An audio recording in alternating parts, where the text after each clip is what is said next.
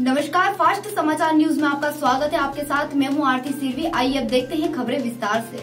मयाना थाना अंतर्गत थाना प्रभारी डीएसपी सौरभ रत्नाकर एवं पुलिस स्टाफ द्वारा सुबह हाईवे पर वाहनों की चेकिंग की, जिसमें अवैध रूप से रेत परिवहन कर रहे तीन डंपरों को जब्त कर माइनिंग विभाग को कार्यवाही के लिए भेज दिया है। जानकारी के मुताबिक ये डंपर अनाधिकृत रूप से क्षमता से अधिक मात्रा में अवैध रेत भरकर ले जा रहे थे। इसके अलावा भी अन्य वाहनों की चेकिंग की, जिसमें मोटर व्हीकल एक्ट के तहत कुल पाँच हज़ार की चालानी कार्यवाही भी की गई।